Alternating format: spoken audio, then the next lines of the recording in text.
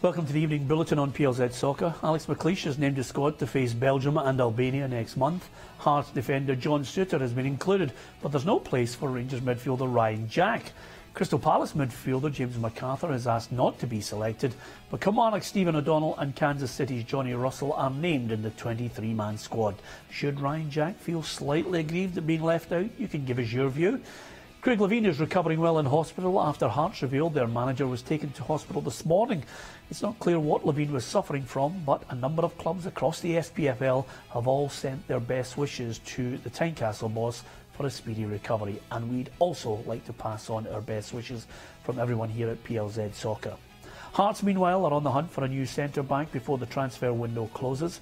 Former West Brom defender Gareth McAuley is apparently a target for both Hearts and Rangers. The Ibrox club are also being linked with a £2.7 million move for Osijek winger Eros Grezda.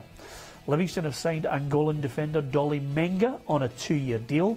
Former Motherwell and Rangers boss Stuart McCall is now the new manager of Scunthorpe.